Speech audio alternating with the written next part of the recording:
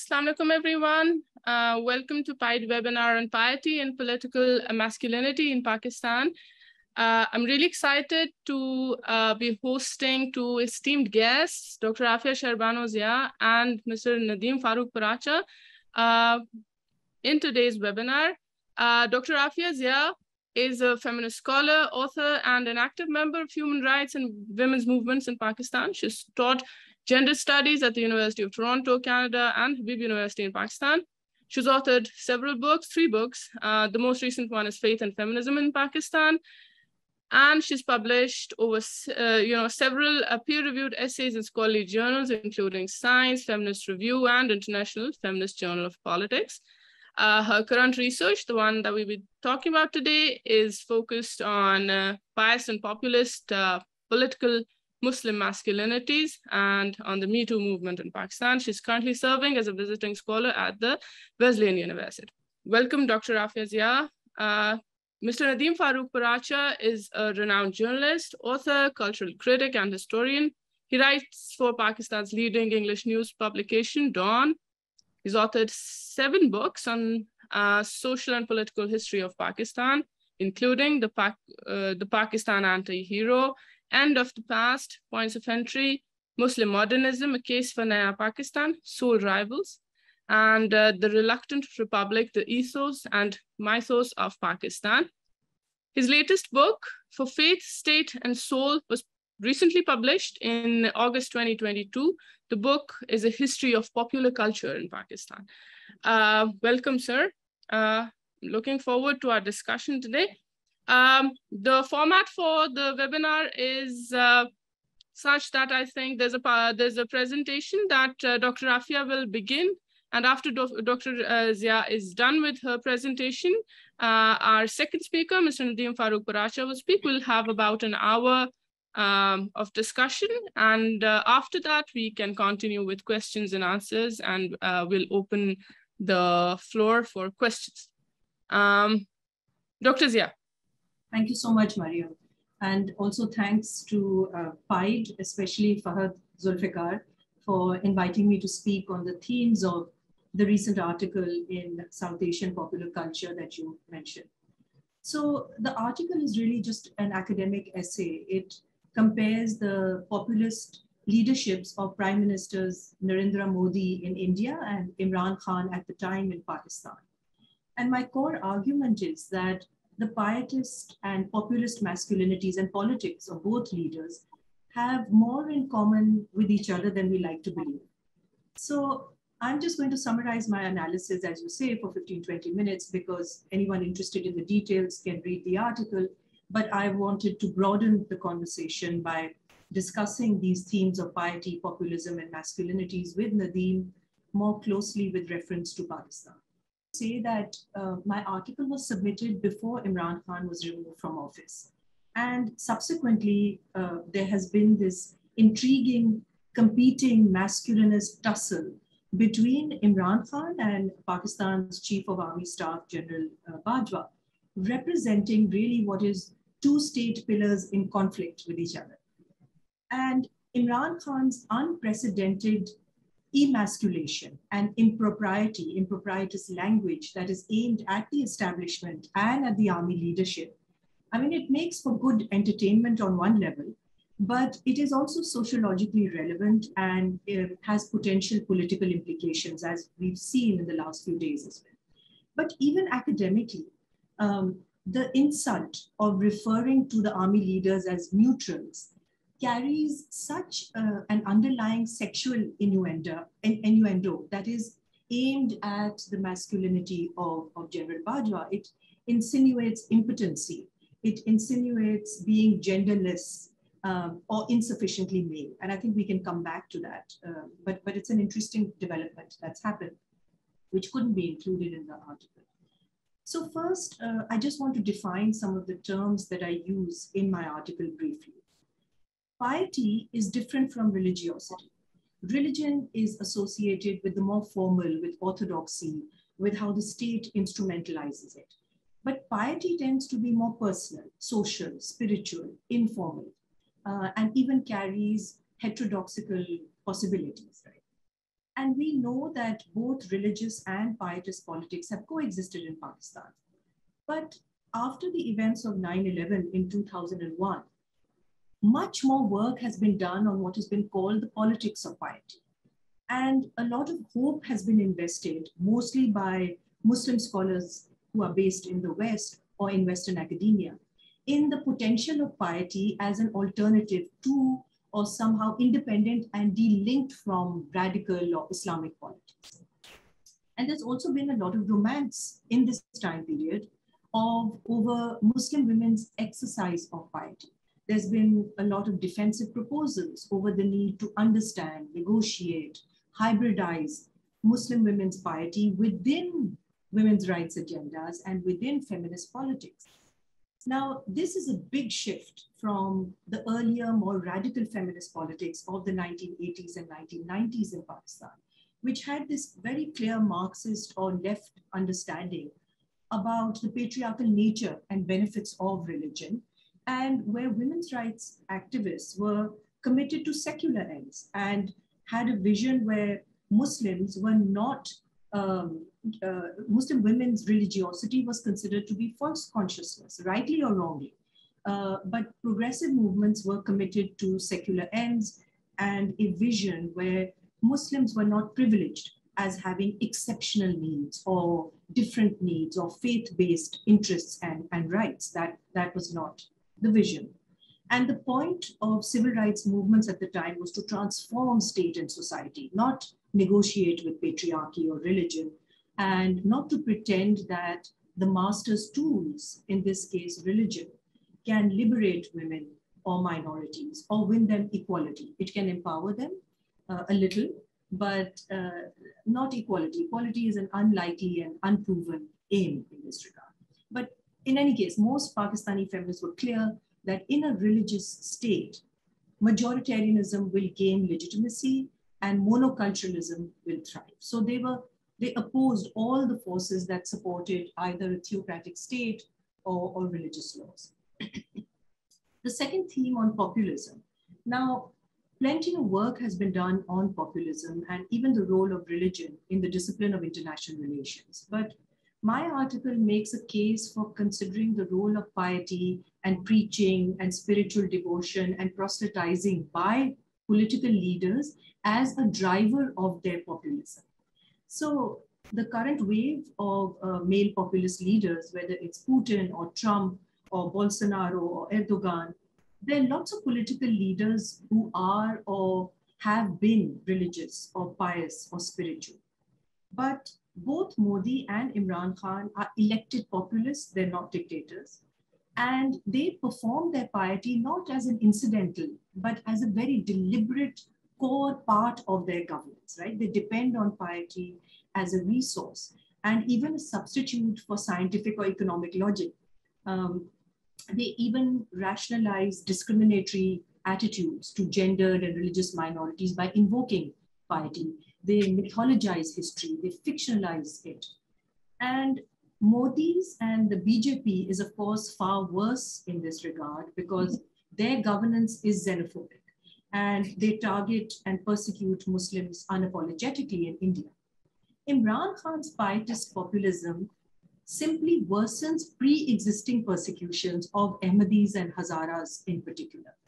And of course, Imran Khan has no interest in equality for women or, or gendered minorities, just this benevolent attitude, charitable at best, which ironically echoes uh, colonial policies uh, that he is critical of. But anyway, uh, all these false promises to liberate us from this imagined slavery, gulami. But even so, I have hesitated uh, to classify either of these regimes as fascist, despite the symptoms and despite these leaders' flirtations with fascist policies. I would say that Modi's pietist populism feeds genocidal xenophobia, it feeds it, while Imran Khan's underwrites and boosts religious and gendered chauvinism in Pakistan. Uh, of course, Modi's work is much harder. He's been more successful, but his work is harder because he has had to subvert the secular nature of the Indian state. However compromised or however moth-eaten it was. But still the BJP claims victimhood by state secularism, not Western slavery, right? The BJP argues that India follows a pseudo-secularism, which is only appeasing Muslim minorities at the expense of Hindu sentiments and Hindu rights. Uh, Imran's task is, is easier because there is no secular resistance in Pakistan, with the exception of the Women's Action Forum for the last 35, 40 years. In fact, piety is defended in Pakistan by progressive thinkers, and there have been no efforts made to develop secular politics or to consolidate secular possibilities or a pushback to religious politics. And this is a new defeat because until the 1990s, this was a very vibrant, viable vision and goal amongst the progressives and the left. Um, now, my criticism of pious populist masculine styles is not to say that politicians who instrumentalize piety will all end up committing genocide. That's not my claim. But given the surge of academic and political theses around the politics of piety after 9-11, the events of 9-11, I think it is important 20 years later to analyze the results of these piety, this piety politics. It's easy to spin a theory, but what about reckoning about the pragmatic consequences of those theories? So my article was to showcase how these theories have unraveled and it argues that the real benefits of piety in Pakistan have been usurped by populists like Imran Khan and to a lesser extent by the Khadim Rizvis of the Tehreek-e-Labbaik Pakistan. Because the beauty of piety is it cannot be measured or judged by man-made constitution or man-made laws. And even parliament is not the stage for the populists, right? Instead, populists are elevated as supra beings. Um, and when they claim piety as their calling, when they claim piety as their cause, only the rules of divinity apply to them. They are only answerable to the divine, not mere voters or power emissaries, or even the army which claims to be the guardian of the Islamic Republic, right? So these populists perform for a different kind of audience, and they appeal that they should only be judged by God, and they claim that they are guided by holy scripts which are above the constitution, um, which they interpret themselves, but, but still, they're certainly not guided by the laws of the election commission or mere mortal rules and policies.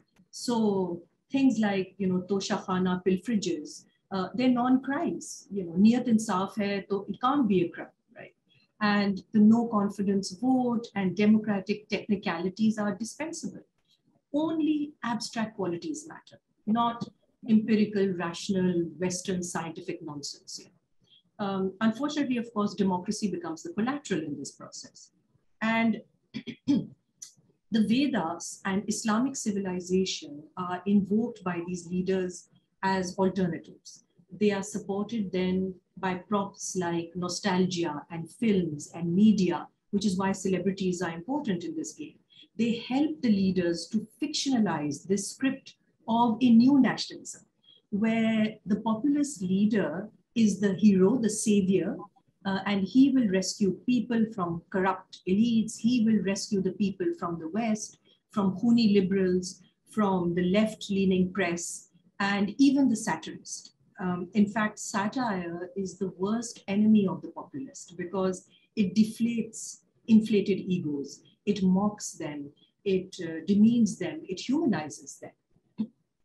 So I also make the argument that actually neither Modi nor Imran Khan are remotely anti-elites. Uh, whether it's economic or power elites, whether it's the religious elites, or even community elites, they are not against these elites. And it makes for an interesting contradiction about what is supposed to be the core characteristic of a populace that they talk about anti-elitism, but it's complete and a complete eyewash in the case of these two. And That is why I categorize Modi's rule as Hindu economicus and Imran Khan's as Homo Islamicus, because theirs are policies that are committed, very committed to neoliberal economics. uh, to the IMF. They are committed to big businesses and to crony capitalism, right? And what's interesting is that these policies should not be popular with the masses, right? But because they, they are painted and branded with piety, it suggests that this is somehow ethical economics uh, or ethical economics, um, just like halal vaccines, right? You brand them with this pietist cover and it suggests that they are somehow relevant, important, and authentic. Um, but in fact, it is only charity and Sharia and langars which are reserved for the unwashed masses. You know, at least Modi has installed latrines in India. You know, for us, we just have abstract promises and nothing delivered. Um, and unfortunately, our privileged class intelligentsia is fine with this. And our middle classes, the middle classes love this consumer capitalism with the icing of piety. You know, it's completely their agenda. Um, and so uh, that brings me to the last, the third and last theme of the article, which is on masculinity. Now, this is a more recent subject of academic study, and perhaps the most well-known work on this is by R.W. Connell, who coined the term hegemonic masculinity in the 1990s, which essentially defines or explains how one dominant form of masculinity, heterosexual masculinity, becomes the commonsensical standard uh, that all men have to aspire to, and all of them are measured against that standard. but uh, recently, French scholars have traced the history of masculinity, and they have found that the central signifiers of masculinity since ancient times are three things. They're weapons, uh, they are locomotives or vehicles, cars, and meat, especially raw meat. Um, so these are interesting continuities uh, in, in the tropes of, of masculinity.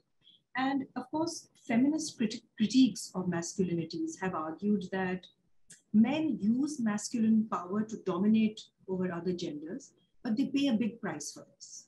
Um, and the price is insecure egos, uh, denial of their own vulnerabilities, fear of being rejected, and shame for being insufficiently masculine or being feminine in any way. Um, and of course, the ultimate uh, price is, is lower life expectancy. There's also a debate about this thing of toxic versus benign masculinities, which doesn't interest me very much. I think more interesting is this notion of protection and honor as masculine traits, because these very easily tip into violence. They justify violence. Uh, and so infantilizing citizens, infantilizing women in the name of protecting them becomes a form of control over them. And it rationalizes ownership or guardianship as tropes of masculinity. And I've always asked this question that protecting them from whom? Basically, you're protecting them from other men. So it's this kind of patriarchal com competition, which is not really interested in men or children or the physically or socially weaker segments. Uh, and protecting the nation is really a euphemism for men competing for ownership of resources or power, right? So this idea of you know, protecting you from imported governments because we are the authentic uh, you know, protectors and uh, of, of uh, the nation is, is just complete rubbish. You're not protecting the nation, just protecting your own interests, right? But uh, but as a trait, as a characteristic, both the asexual Modi and the hypersexualized Imran, you'll notice they constantly refer to a lost Hindu or lost Muslim masculinity, respectively. Lost during colonial rule by Western powers, and for Hindu by Muslim invaders also.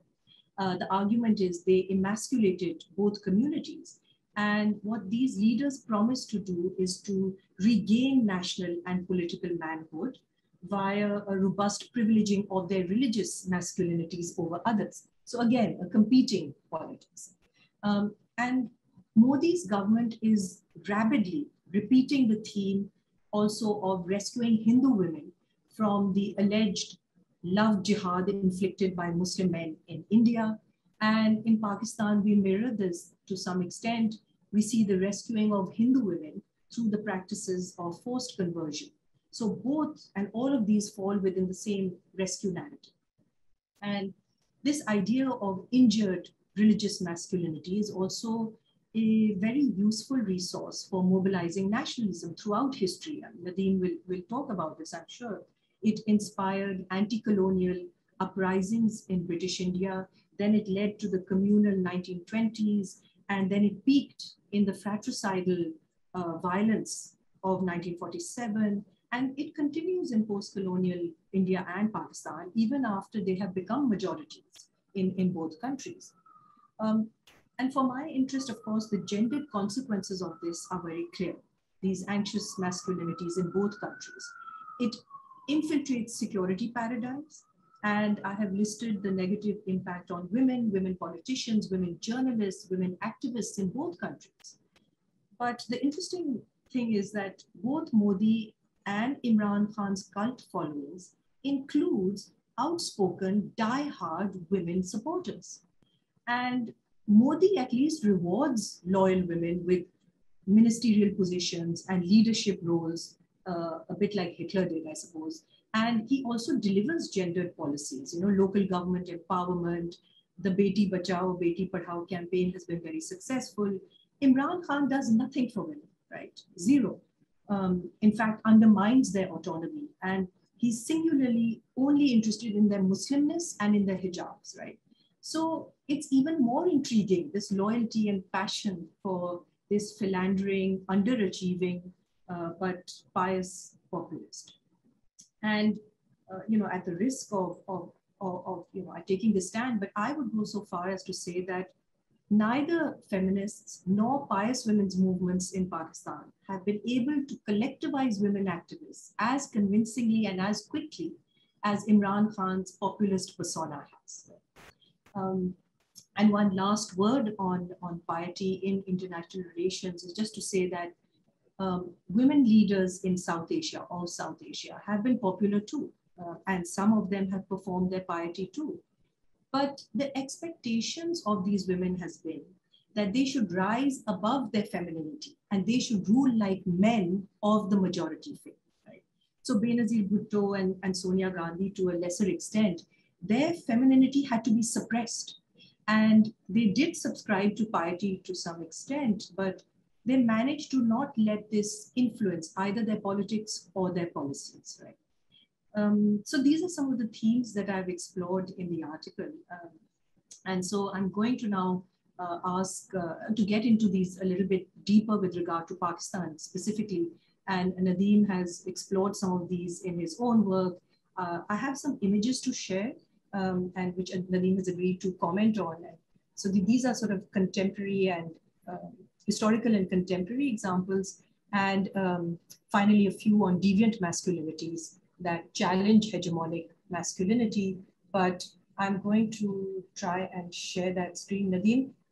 So Nadeem, um, I'm, I'm sort of starting at, uh, you know, sort of this idea of early Muslim masculinities in India. I didn't go so much into over here, but you know, this particular slide, should, there's work done by Sukeshi uh, Kamra uh, on M.A. Jinnah, Muhammad Ali Jinnah, um, and you know, the kind of pejorative cartoons that were shown on the eve of 1947, um, in, in, showing the negative masculinities of, of these rival uh, political leaders. We have Dawn, which is Muslim League paper, showing um, all those, mocking those Muslim leaders who joined Gandhi's Congress party uh, and who opposed the Pakistan movement, you know, Abul Kalam and others who are shown as ballet dancers.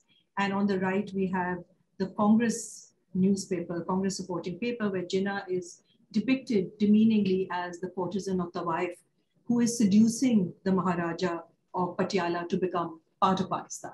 So just to get your comments on, on these rival nationalist masculinities. Yeah, uh, this is very interesting. Uh, I saw these a few years ago as well.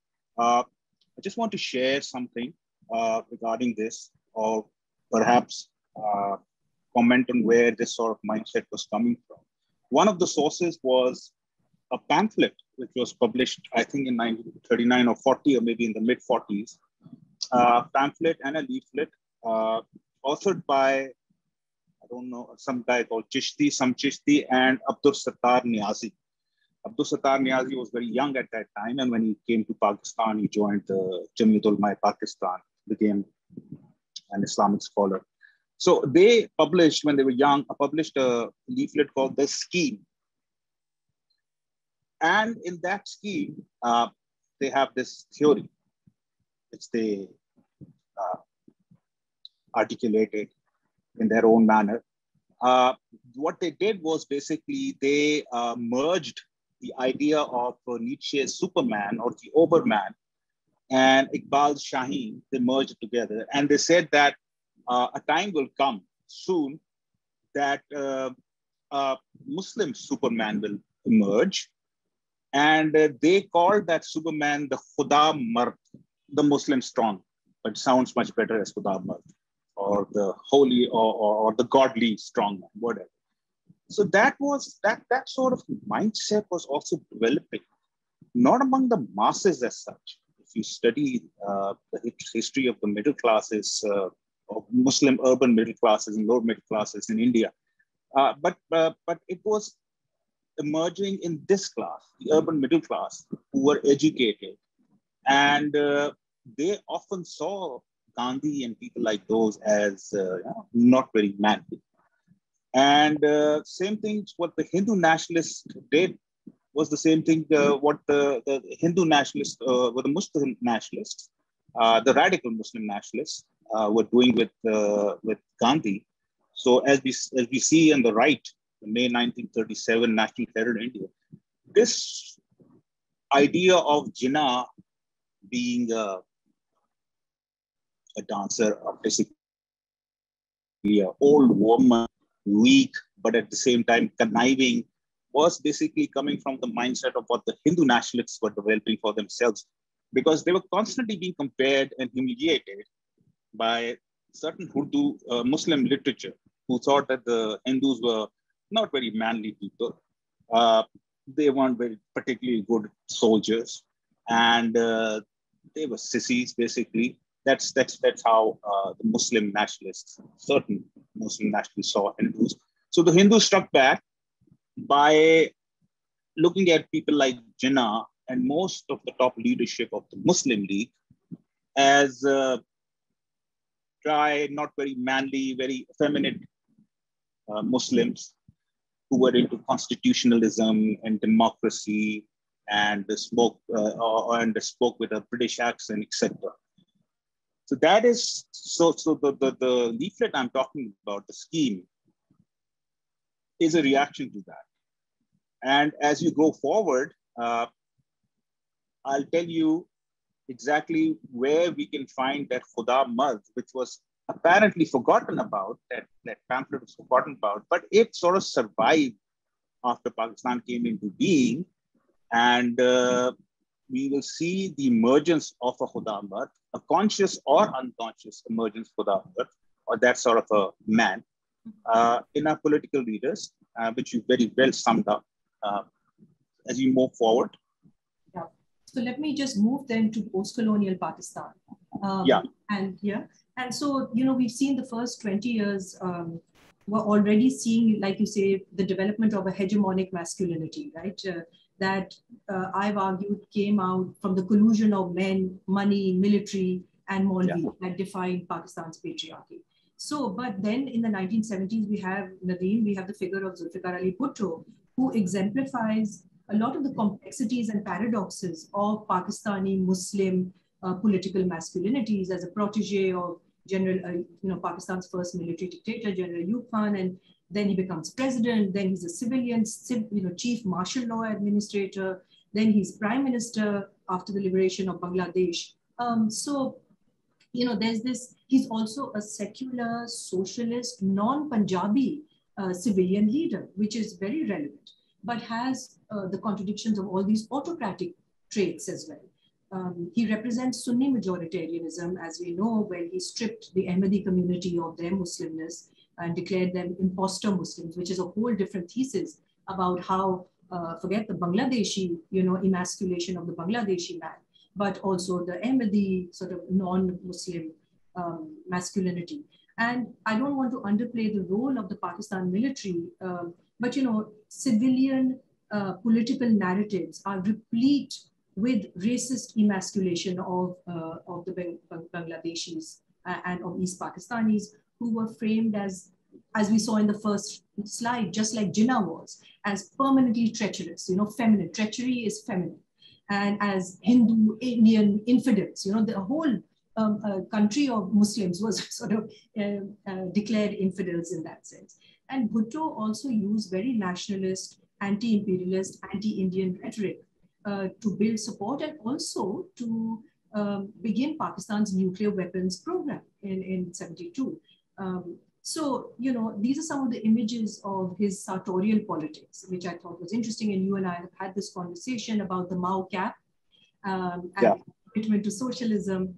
Uh, and then and then his, his wife, Mr. Bhutto, who is not in Parda. And then, of course, Mujibur Rahman on the right, a masculinity that, an image that we are never taught and never brought up uh, about. So your comments on this yeah, can you go forward? It's a very interesting. I think uh, that that image encapsulates exactly what Zulfikar Bhutto was or became.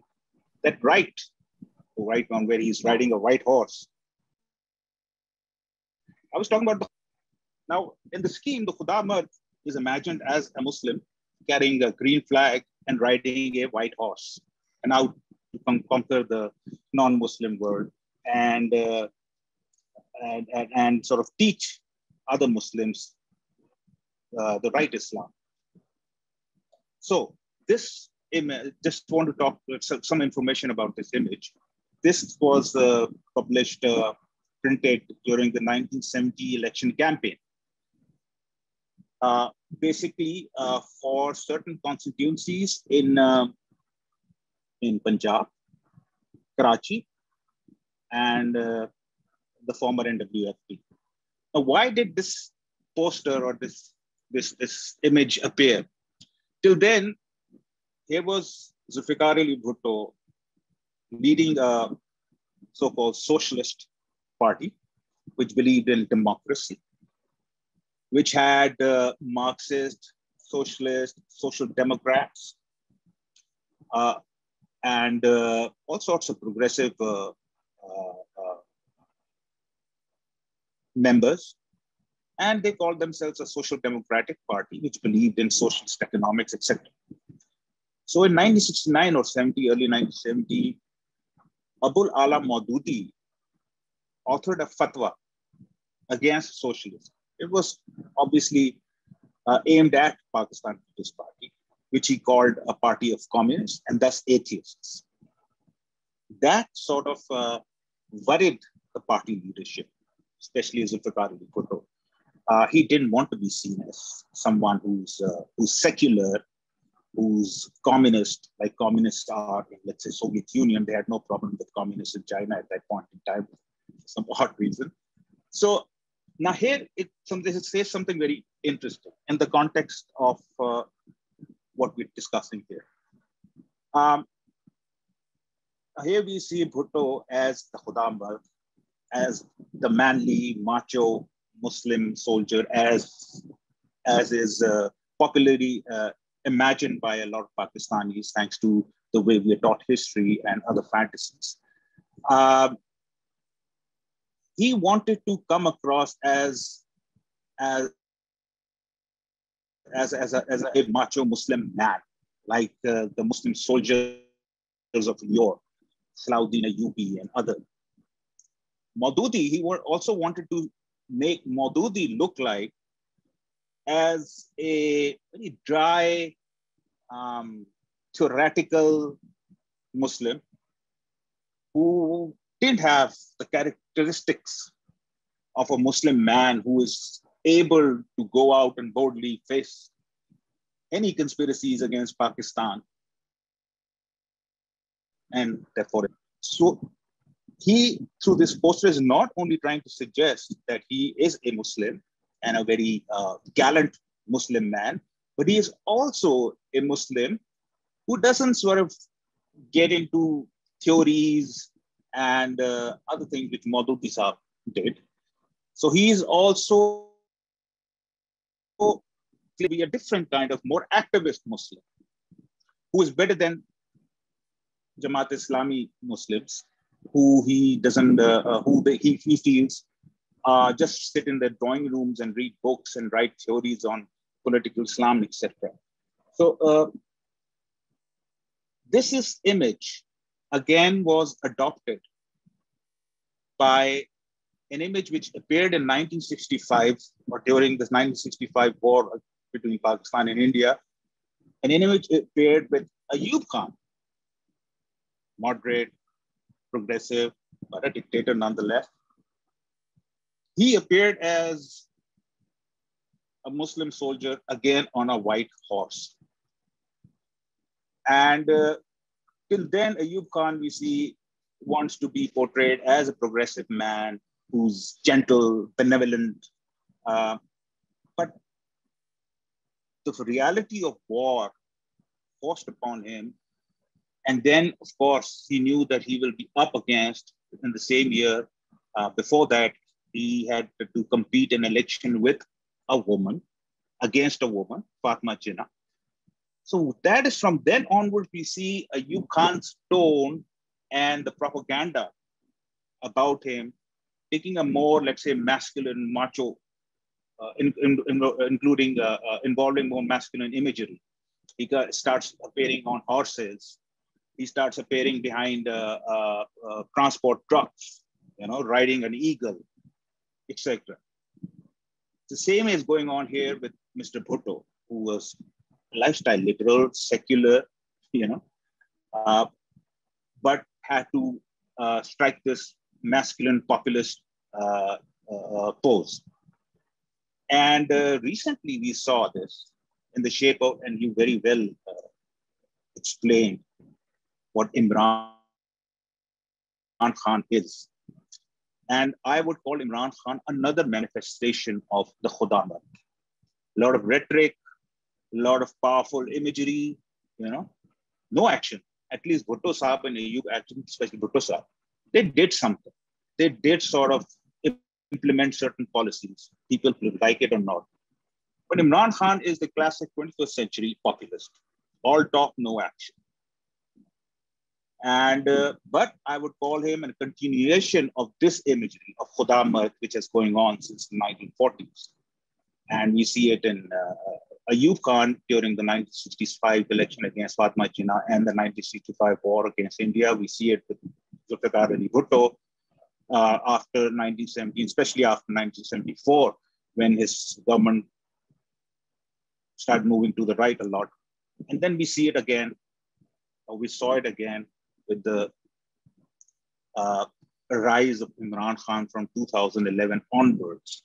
Uh, and he is constantly uh, intensifying that image. And uh, to some, it's really working for him.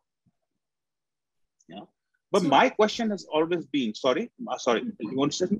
No, my question is always, like, for example, Bhutto didn't have a lot of female admirers. Bhutto's constituency was mostly the so-called masses. The middle class dumped him uh, in the early, by 1973, you know, they were, they hated. It was always the masses, the small farmers, the peasants, the working classes, you know, and they were mostly men. Uh, I'm sure there were women as well, but not as many women as, as Imran Khan has gathered uh, as supporters. And uh, Bhutto's popularity also didn't come from the middle classes. Uh, in fact, they abandoned him, and uh, and the movement against him 1977 was a middle class movement, a low middle class movement of traders, shopkeepers, etc., funded by the industrialists. And those are different reasons. But again, as you you are you said you were puzzled, how can a man like Imran Khan, you know, who, who, who whose piety and uh, a show of piety, exhibition of piety and populism is should be offending a lot of women. And yet we see women who practice lifestyle liberalism, for example, middle class urban uh, women, uh, they somehow cannot see through it. They don't want to see through it. You know, I, am trying to sort of uh, explore that as to why that is so. Mm-hmm. And a second second thing I would like you to comment as well, which I've been thinking recently. Uh, populism is definitely not an ideology; is a way, is a style of politics. Basically, you know, you uh, adopt something from the far left, adopt something from the far right, you know, and you present yourself as as as the savior, etc. And it's mostly to do with men. But if you see France, one of the biggest populist parties over there, the far right nationalist party over there, is being led by a woman. And I've been trying to study her, and she's using exactly the same imagery and the same uh, rhetoric as, let's say, Trump does, or did, or Imran does, or Modi does, or, or and, and that guy in Hungary does. Yeah. So uh, it's, it's, it's, it is very puzzling. And uh, what is happening there what is this woman up to? You know, why is she uh, mirroring uh, men who are not very fond of treating women as equals? So Nadeem, I mean that's a that's a big question, but the the sort of basic response to this is that you know our, our entire argument is that gender suggests that men and women are actually not that that different in terms of uh, ideological uh, subjects. Um, and, and why did we, do we expect uh, all women to be feminists? Uh, and why do we expect that men will only behave in a certain masculine trope? These are learned, constructed, and especially political behavior is very learned. I mean, it's, it's taught, we learn it in our houses. We, I mean, the simple question can be that how do we vote? The, we vote on the basis of how the family votes, right? I mean, where do we learn? So you'll see even the Imran Khan phenomenon has been, and this, there's been commentary on this, on how entire families, and particularly those of the ex-servicemen or ex-army, or within the, the current uh, servicemen as well, their entire families are, um, you know, sort of cult followers of Imran Khan. Uh, and, and like you say, the women, uh, and these are progressive women journalists who are speaking defending Imran's policies and they, they spin it, they twist, uh, they, they say that he's misunderstood, which is the classic uh, defense of, of, a, of a patriarch, you know, and, and they, I think that the script is so well, um, it's, it's very hard to break that script when everything is working, uh, colluding with them. They've got the state on their side, they have media on their side, celebrities. So, um, you know, critical thinking, skepticism, a critique, is never well received. It's not popular. And that is the difference between populism um, and, and, critical thinking or skepticism or secular thinking. Um, and so, of course, Le Pen in, in France, uh, she's a conservative. I mean, women can be conservatives, you know, um, and, and racist and uh, uh, xenophobic. Um, so, but I think the interesting comparison there between France and India is because of the nature of the state. The nature of the state always matters in these. It's not about individuals. It is where the state hinges, what the state structures do.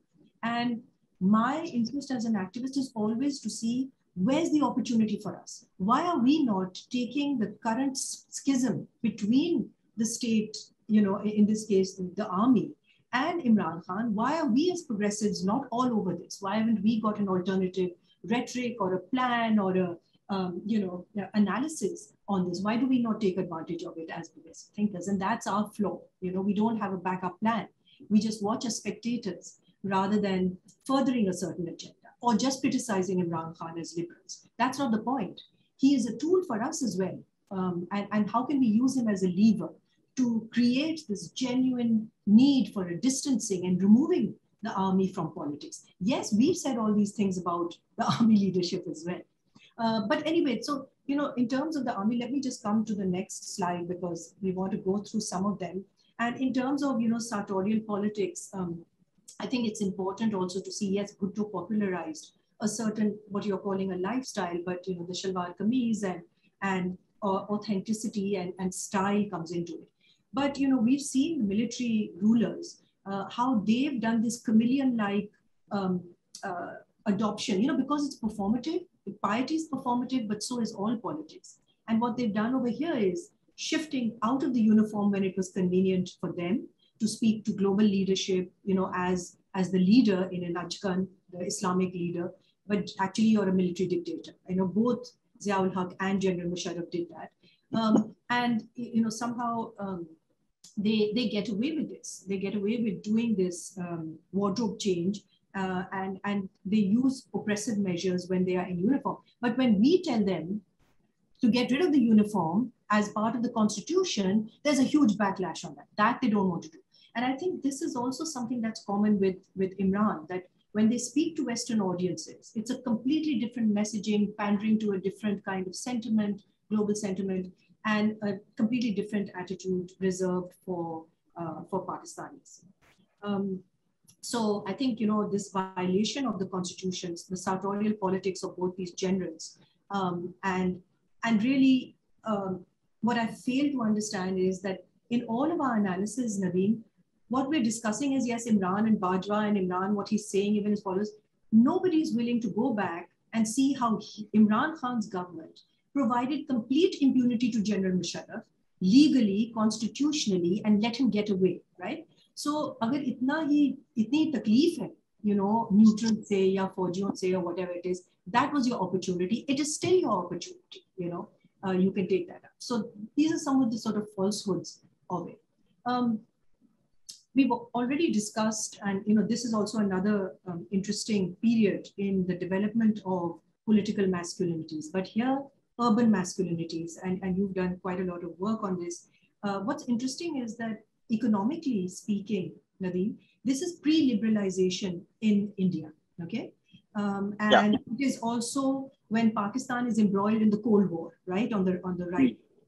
So um, in Afghanistan. So there's a lot of investment in training mujahideen and to fight, like you say, the godless Soviet Union, etc. Um, so the Hindu right-wing Shiv Sena in India is led by Bal Thackeray on the left, and the secular, so-called secular political party of the MQM is founded by Altaf Hussain. And they, both of them, I think it's so interesting that at the same time period, both of them are interested in rehabilitating young Muslim and Hindu men on both sides of the border. Um, and they, these are very aggressive, you know, youth, the angry men of, of the 1980s who are portrayed in film as well. And they spurn incredible urban violence in, in the days that you and I were growing up, you know, in, in Karachi and going to university. But both these Hindu men and, and Muslim youth, they look to these leaders as a fatherly figure, as surrogate fathers, right? Which is really interesting. I don't think that Imran has that kind of calling. Uh, this is very specific. Religious in India and it's ethnic in, in Pakistan. Um, and so, you know, I want I wanted to get some of your comments on this because you've done quite a bit of work on it. Yeah, uh, both in both cases. Okay, we see uh, uh, two tendencies: one uh, Hindu nationalist or Hindu, and the other Muhajir. Uh, both felt very.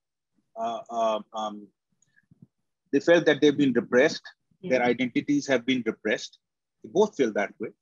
Thackeray felt that uh, secular India, so called, was, as you mentioned in your talk, Abhi, uh, that it was uh, it was uh, it was supporting or it was it was aiding uh, Muslims more than uh, the Hindus, even though Hindus were never a homogeneous group. Um, and the Muslims were taking uh, secular, uh, secularism and undermining the Hindu majority of uh, India with the help of the Congress Party. And uh, on the right, when we see the Muhajirs, Muhajirs, when they started to pour into Pakistan after 1947, you know, they were one of the earliest, uh, they were very much part of the ruling elite with the Punjabis uh, till about, till, till Ayub's takeover. And they've always felt being ousted They've always felt that they were the ones who were who were the main architects of the Pakistan movement. They had left their homes, and they here they were in a land where everybody was either Punjabi, Sindhi, Baloch, or Pashtun, and they had no identity who they were, and nobody was a Pakistan. And they had been ousted first by uh, the Pashtuns who had started to come uh, to Karachi as labor in the 1960s, and then by this Sindhi feudal lord who had come in and asked them to start with Sindhi, for example, uh, as a language because Karachi became capital of Sindh. And then uh, they were very disappointed. They thought that, okay, Ziaul Haq, he was a Muhajir in the sense he was a Punjabi, but he came from East Punjab. as a Moj, as a refugee. They thought maybe, okay, um, he might sort of re uh, reinvigorate or regenerate uh, or uh, reinstall the Muhajirs back where they belong, and that is at the top because they were the main uh, as a Pakistan. Ziaul Haq did no such thing. Um, so that is when we saw the emergence of these militant, macho, uh, radical Muhajir young men led by this uh, former Muhajir student leader, uh, street smart, you know, clever and uh, brave, strong. Same thing with Bal Thackeray. He is portraying a Hindu, he's trying to break the stereotype of the Hindu, which he was bothered with. Like, for example, even if you watch how Indians were are portrayed in Hollywood movies till about the 1990s, they were always either doing yoga or they were always talking about peace, you know, and, and people like Bal Thackeray and the Hindu nationalists hated that. It was a stereotype, you know. So they end up creating another sort of a stereotype of a Hindu. Who's radical, who's, who's, who's willing to die for it, their deities and their nationalism. So this is what happened. These are two people who felt uh, left out, isolated, and stereotyped. And uh, this was the reaction. Bal Thackeray in India and Altaf Hussain in Karachi. Hmm. But even uh, Nadeem, at this time, you know, a lot of social activities. I mean, of course, there's also in Pakistan, also Iranian after the Iranian Revolution, and then Afghanistan and the Soviet Union and Afghanistan. Um, of course, pietist organizations and Tablighi uh, organizations and religious organizations also became militant. Uh, I'm not leaving them out. I'm just saying that's more obvious one. But what I find interesting is that everyday activity, like kite flying, cricket, um, you know, and religious pageantry and, and Eid Miladun Nabi, all of these uh, became political performances, right? They became invested with something beyond the leisure. They weren't just casual cricket playing anymore, right? Kite flying was extremely competitive. And also tele-evangelism rises in both countries. You know, the United States, yes, it's been around. And of course, the celebritization of religion. So what I'm suggesting is that none of this is really brand new with the Imran Khan phenomenon or with Modi today. These have historical um, background. And also in other Muslim countries, you know, we don't have anything to compare with India, but Egypt, uh, Turkey, the celebritization of piety is, and musicians and politicians forfeiting secular careers, dance, you know, um, uh, music, etc., and taking the pious path is very much um, a movement, you know. But um, so if we look then at the next one, um, this is sort of, you know, more on specifically on Taliban uh, masculinities. There's some work on this. And actually, again, uh, what is a little disappointing about current work is that it doesn't actually connect with the history. I know it's a tough call. We're not historians and we get it wrong sometimes. But, you know, uh, it, there's a disconnect if we don't link it to history. Now, frontier masculinity since British colonial period, and there's a incredible, that's a whole thesis in itself, right? Uh, the frontier was literally the boundary of certain masculinities, two kinds of masculinities clashed. Um, it was British masculinities that was considered to be feminist, feminized, emasculated, and Pathan and Pakhtun masculinities had their own bravery codes, uh, honor codes, etc., and defiance. Uh, and women played a role, gendered impact of that as well. But I just think that, you know, uh, this is interesting because of the contradiction of uh, this idea in the West and amongst us of the Taliban as being brute and crude and you know hyper masculine, etc. But you know there are moments that were caught by um, you know in their uh, passport when they took passport photographs in Kabul between 2001 and 2014. Um, look at these portraits. You know they they're soft, they're feminized. Um, there's this um, sort of secretive kind of uh, even a a sympathetic homoeroticism to it. It's not, it's not judgmental, you know, it's not about, there was some literature and narrative that did that, that demonized the Taliban and their sexualities, but not necessarily all of it. You know, there was also sympathy. This book, by the way, does extremely well in queer bookstores in Berlin. You know, the, the uh, photographer and the author of the book said so. So there's this, you know, kind of uh, tangent. We've um, already discussed, you know, the kind of comparative over here um, but I just wanted to move a little bit on contemporary times and this idea of who and what interrupts and what is considered to be uh, deviant masculinities, contemporary masculinities. So the Bhutto factor that you talked about, um, this is a continuing signifier of, of masculinities. And Bilawal Bhutto, who is the grandson of Zulfikar Ali Bhutto uh, and the son of the assassinated Benazir Bhutto, he's the current co-chairperson of the People's Party, but he's routinely has been mocked for his mild mannerisms, for his liberal kind of lifestyle and ideals. He has also been emasculated by uh, Imran Khan when he was prime minister. You know, the kind of gendered insults and gendered slurs are common again between Modi, who does it to Rahul Gandhi, and Imran Khan, who does it to Bilawal Bhutto and to um, uh, Maryam Nawaz. And he mimics them. You know, I mean, it's so performative. Imran Khan, this whatever 70 year old prime minister, is standing on a stage and mimicking because it, you know, it is it is part of the, the performance. Uh, and also, but Bilawal, but because of that, Bilawal is trolled by uh, masculinist hyper-nationalists online.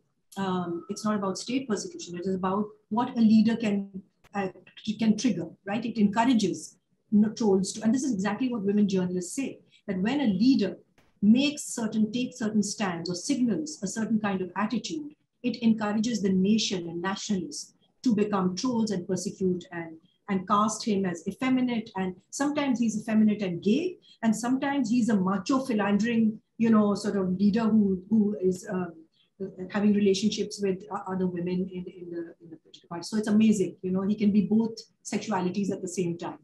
Um, yeah, but you see, uh, uh one can also understand Imran, uh, Imran's guilt that he that he's developed himself for uh, for leading most of his life in London and uh, not knowing much about Pakistan. And uh, we see this thing in Imran emerging from the 1990s onwards. Uh, when he wants to be seen more in Shalwar Kameez, for example, and sound like this, making fun of uh, people uh, who speak well and uh, sound modest, he sees them as a threat, as someone uh, he couldn't become himself. If you see Imran's career as a cricketer and, and as a socialite way back, he wasn't a very articulate man. He couldn't explain himself. He always first depended on his cousin Majid Khan to speak for him, and then his friend and now enemy Sarfraz Nawaz Pakora. He always depended on other people to talk about him. And when he was uh, uh, uh asked, he himself called he's very shy and he couldn't speak much. Uh, but I don't know what was really going on inside him. But when he started to speak, when he started getting into public speech, speaking during uh, uh, when he became a politician, I felt that there was he's been suffering from various complexes and insecurities, and uh, this sort of uh, uh, I don't know what would you call it call it bigotry and and nonsense that he speaks about uh, uh, ridiculing Bilawal or ridiculing Mariam. It's coming from that insecurity because he's still not sure exactly how he's being uh, framed.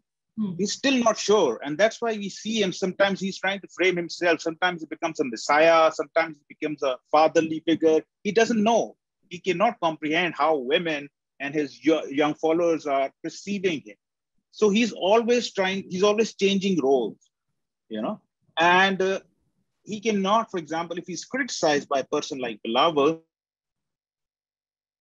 this is the only for him to do is to mock him, that he sounds like his mother, that he's effeminate, you know, hmm. uh, and etc. etc. So th- this is like Imran, a 70, 71 year old man who still hasn't found who really, he really is. Hmm. And he's and that is creating a lot of problem because he's found it or has been aided to come in a position where whatever he says or do can impact the whole country. But here's a 70 year old guy who's still suffering from an identity crisis. He still hasn't, doesn't know what he is. He doesn't know. He's not very confident. That's a wrong image about him that he stands up and very confident. He's not. That's why he stumbles when he speaks because he doesn't know how to present himself. Sometimes he becomes, like I said, a messianic figure. Sometimes it becomes something else. Then when he sort of starts to wonder what he's saying, then he starts talking about cricket. That's the only thing he's sure about. The other thing he's sure about, he doesn't speak about anymore, of course, for obvious reasons. So um, that's what's happening to him. And that is why he ends up uh, doing these things, uh, calling Mariam Nawaz, who is about 30 years younger than her, than him, uh, a, a, grandmother, hmm. or Bilawal Bhutto, who's about 40 to 50 years younger than him, or let's say 40 years younger. You know, he's in his early 30s, uh, mocking him as a, as, as a gay man or, or as, as, as, yeah, as a woman really in a man's body. So it is the so, same you know, about an unstable masculinity and an anxious masculinity. Um, that's it. Yeah.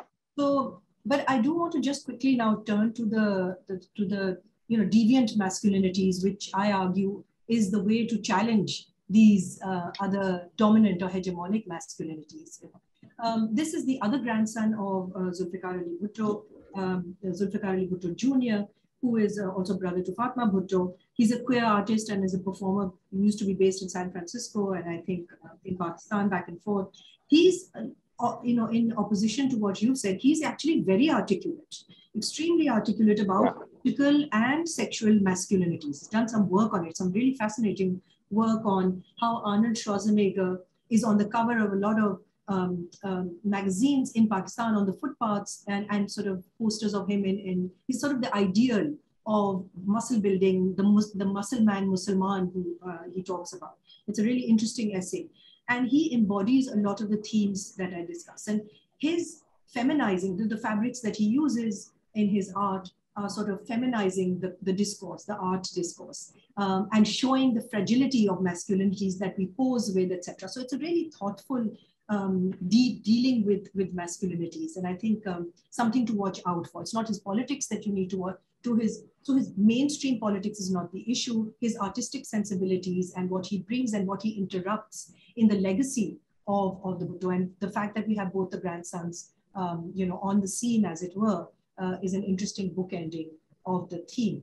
Um, this also, I, you know, we've already discussed. Um, I, I, think Fasi Zaka wrote a wrote a piece in the newspaper on TikTok masculinities, right? And really the interesting part is only that these are subaltern masculinities, right? They're the common man, the working class man. Um, and they talk about their aspiration. And, you know, just to go back, if you remember, um, Nadeem, you remember the, the TV drama Aangan Terha, um, hmm. which, uh, which staged deviant masculinities in the in the ascetic General Ziaul 1980s, right? Um, and then later we had the TV talk show with this and cross-dressing uh, Nawazish, Nawazish yeah. Uh, Ali Saleem, sort of reflecting the kind of liberalization of sexual politics in the new millennium under General Musharraf's period. You know? Um, so like I said, it's not a coincidence that leadership sort of opens and encourages different kinds of um, yeah, performances. And, um, you know, so even, um, and then we had okay. some, sorry, go ahead.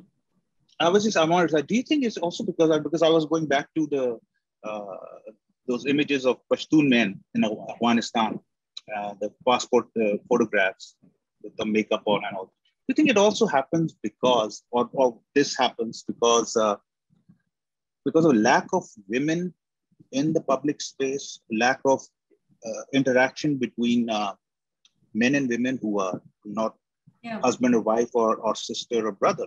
Yeah, I think a common question. But you know, there is this theory about suppressed sexuality or suppression of or severe gender apartheid where you're not allowed to. But you know, I'm hesitant to to to position it like that because that suggests that there cannot be other sexualities and this is the only reason that you know heterosexual relationships are not allowed therefore we succumb to women and that's you know a, a debunked debunked uh, theory and understanding uh, desire is inexplicable.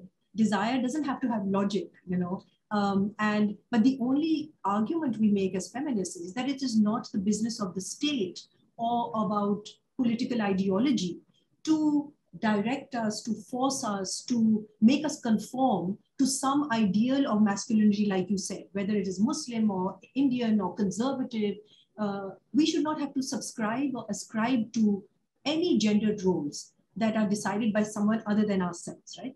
No, I, I say this because I remember uh, uh, uh, uh someone, a writer, a, a woman, uh, uh, she once commented that she was she's been in Pakistan for quite a while, and she studied abroad, and she just tweeted something like that all the years she's been in Pakistan, she's just seen men dancing on television, and she's hardly seen any woman, women dancing in functions even, and especially in public spaces or, or, or in mediums which are uh, open to public.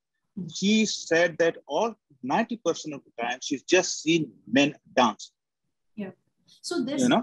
yeah, that's a that's a separate point. I mean, it's an interesting point because Fasi says that on TikTok, all the time, most of the time, what these men are doing are dancing. So I'm not sure whether hmm. you know women on TikTok are dancing, but you know that again the state is involved in this. That when the state bans women's performances at a certain time. It takes a very, see, the problem with the Imran Khan syndrome is it's going to take a very long time to come back from a position of gender apartheid when public services uh, or public spaces are exclusively for men, when you victim blame women, when you say you should not be on the streets at 12 o'clock, it's dangerous for you, when you start putting the burden on, on women and not giving them equal access in equal space, whether it is in political forums, whether it is in public space, whether it is as journalists, and you troll them, you mock them, uh, you undermine them, and you sort of demean their femininity instead of giving it equality. Of course, this backlash is going to happen, and public spaces are reserved only for, for men in that sense. But, uh, but that is changing and will change only uh, only with resistance, right? There is just no other way for it. We cannot wait for a paternalistic state or a General Musharraf to come and make those spaces for us. We have to fight for those spaces all the time. And certainly what the Aurat March represents is exactly yeah. that. Fighting for the, it doesn't have to have, um, you know, an end always. It doesn't have to make sense to you. It is expanding public spaces. And that is an agenda in itself, right? Um, right. So, so yes, I think that, you know, um, these TikTok masculinities are interesting. They do repeat some of the themes of nationalism and patriotism. You can see the horse, yeah. the horse is there. The horse and the flag. and the flag is the there. And, the flag. and yeah. stand with Kashmir and, and the Ferrari is there. You know, the new liberal agenda is there as well. So I think it's interesting yeah. commentary on subaltern masculinities. And then I just want to sort of end on the last slide, which I think just brings us back and summarizes the hegemonic masculinities uh, that I mentioned with regard to Pakistan, the military. Uh, the left image is sort of disjointed now a bit. Uh, you know, there's an interesting split that's happened over there. But at yeah. that time, there was a this hybrid civil military regime nonsense. Um, the money trope is, of course, represented by the land developer Malik Riaz. I have always argued that he's the real owner of Pakistan, you know, and the real leader in that sense, the influencer. Um, and uh, at the and you know this collusion with state elites that's that's the important thing um, and you can see the Eiffel Tower at the back, which denotes a very middle class aspiration, right? It's either Dubai yeah, yeah. or it's a voyeuristic travel, like the TikTok masculinities, not not too different from that. Um, but um, but and then at the bottom we've got the role of clerics or Maulvis, uh, the Tablighi proselytizer, and they're celebrities now, celebrity uh, cleric, also a long way from the Maududian sort of model. Yeah um, and he's um, moralizes all the time. Again, women are the linchpin. Women's immodesty is the main issue with them. And he has now an upmarket branded clothing business. So capitalism money is not far behind in any of these. Um, and you and I know that you know the, the we were talking about public spaces, but capitalist sites of, for example, multiplex cinemas in Pakistan, or gymnasiums, or branded clothes, or that you know the Amir Liaquat piety game shows on TV on, on Geo. And we have Islamic portals, we have YouTube uh, tablighis um, shows. They are all engineered to the benefit of pious and military and political and capitalist masculinities in Pakistan today, right? Um, and I think, you know, I mean, I don't want to end it on a on a depressing note, but uh, the fact is that, uh, you know, I feel that um, civil society in India and Pakistan is currently quite defeated by the piety discourse, actually. Um, you know, it mutes, like I said, it mutes our critical skills, it mutes questioning, skepticism, accountability. And what all these factors do is they serve patriarchy. You know, that's the important thing for me. It's fine for us to uh, devote our research and uh, academic and political energies to say we want to understand uh, subjectivities. Um, and pretend that this is all for feminist interests or it's so interesting. I mean, fine, it's interesting, but just don't claim then as kind of a radical or left or orthodox Marxist or even a feminist position. You know, these labels are meaningless then. Um, it dilutes the direction of a radical politics. It, um, you know, um, what the previous generation did, you're losing the thread and the connectivity with their resistance by, by be, being seduced by this piety and seduced by and blaming everything on the state and denying. It's not even good analysis because it denies societal. I mean, Imran Khan is today a viable, legitimate populist. You know, we don't have to like it. We can be critical of it, but we have to quit pretending that the state is, you know, he's, he's the biggest voice against the state today. And, and it's not easy to do that, right? Um, wherever it's coming from and whatever purpose. So the question for me then is where has the politics of piety ended? You know, and it's today with Imran Khan and Bushra Imran. This whole idea of don't talk about her and don't, and it's private and all the rest of it, they are the quintessential definition of piety politics. And all the combination of Imran's populism uh, congeals patriarchy and his followers and the celebrities, they all take their cue from his leadership um, and gender bigotry and chauvinism. And so we can expect this to flow much more. This is the exact pattern we see in Egypt and Turkey, celebrities, you know, abandoning their careers, turning to piety politics. This is real politics. And when it converts into votes for Modi and Imran, we should not act surprised. We cannot wonder where these votes are coming from or how did this happen. Piety is the B, politi- the B team of religious politics. It boosts, it stabilizes patriarchy, uh, and it resists feminist transformation. It may give a little bit of empowerment, but it's not going to give you transformation. And um, you know, the stabilizing of masculinities, the stabilizing of patriarchies, um, is something that uh, is you know we need to be more clear about it, and we need to have an agenda uh, about it. I also forgot to mention for a while in terms of populism. Um, you remember Major General Ghafoor's uh, 15 minutes of glory as uh, the ISPR Twitter. He handled the ISPR's Twitter handle, uh, you know, for a while. Um, I think, you know, Imran Khan has managed to even wipe out that competition. You know, I mean, Ghafoor like, you know, he was like the Pope because all these people adulating followers. Uh, he used to say, bless you, beta, bless you, you know, whatever, like, like Pakistan's Pope, you know, he had incredible following to it. Uh, maybe the army should have continued to have him, you know, um, uh, to compete with Imran today. They lost that opportunity, I think. But you know, these. Well, I, I think Ghafoor Saab uh, started competing with the general himself. I think that that created an issue. they have to. Everybody has to stay in their lane. You know, this is something. Yeah. That, uh, but you know, I mean, I'm not pretending that Imran Khan is interested in disinvesting uh, the, the the army, you know, or disinvesting politics from the army. It's just that uh, right now. We're paying for the price of the clash of male egos. That's what's happening on the on the stage today. And uh, the division of women's loyalty worries me tremendously on this misplaced patriotism, fake patriotism, abstract patriotism. You know, um, patriotism is fake. It's abstract, just like piety is. It's flag waving, it's dharnas, it's grand narrative, it's narebazi, you know, um, and although Imran Khan, I think, has become an independent leader for the first time, uh, precisely because he's become a victim. You know, you have to be a victim in Pakistan to be a true leader. Um, and usually it's, um, even if it's fictionalized, you know, um, but that is the condition of, of Pakistani political leadership. And unfortunately, bravery is reduced to who you call out on, on these public forums, not what you do, you know. But, but that's what we have as our resistance today. And we need to have a serious political agenda that civil society and progressives can, how do we take advantage of this? You know, what, how do we push our agenda, which is far more substantive and transformative and not just in our interest, but the people's interest, you know, how do we convert that? I guess that's, that's my main concern.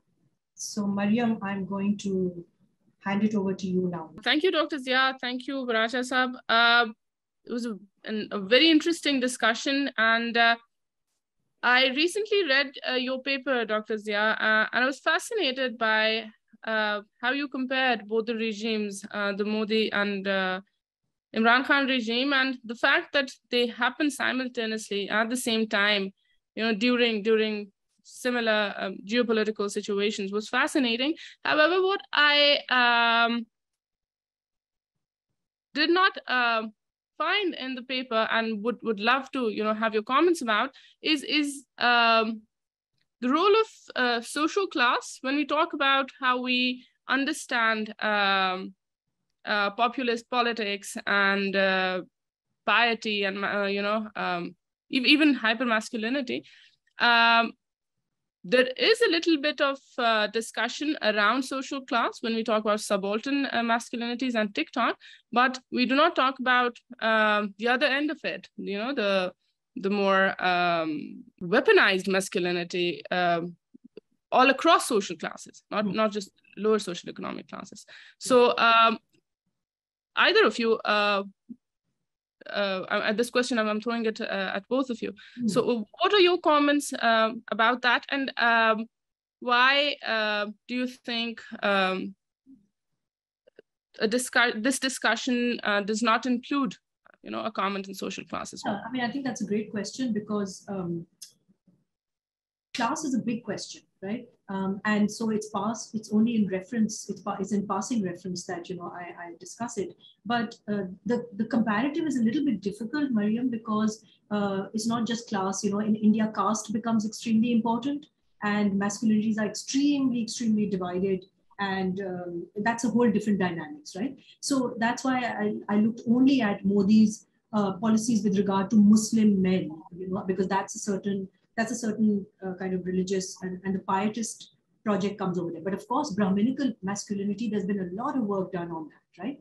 Um, Brahminical masculinity, how that's the standard and what it does to all other uh, masculinities, how it uh, feminizes uh, the lower castes and, and particularly Ambedkar. And, and there's a lot of work on that in India. It's hard to do the comparison. In Pakistan, unfortunately, there's far less work on, um, on this notion of uh, masculinities across the classes.